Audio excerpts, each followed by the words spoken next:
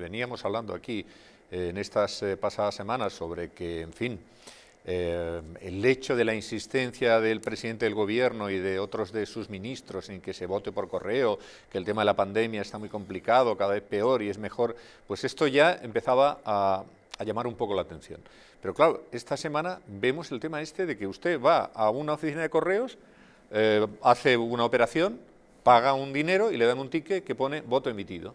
Dice, oiga, pero si yo no he emitido ningún voto, yo lo he venido aquí y lo que he hecho ha sido poner un, paquete para mi madre que está en, Cáceres.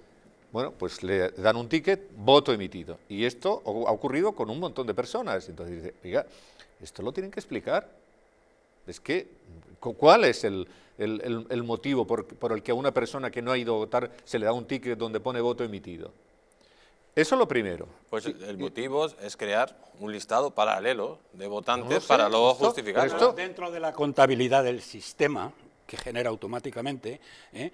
él cuenta los votos que se han generado eh, de esta manera y por lo tanto eh, voto, digamos, ticket entregado, voto falsificado.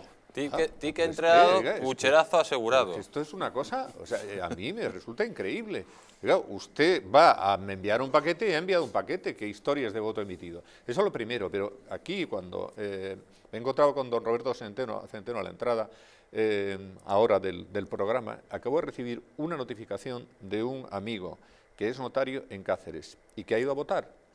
Y entonces ha ido a votar, ha ido a votar por correo y ha enseñado su DNI. Y le han dicho, no, no, no hace falta el DNI para nada. ¿Cómo que no hace falta el DNI? Oiga, que yo quiero ponerme... No, no, no, que no hace falta, que la nueva... Yo he votado una vez por correo, solamente una vez en mi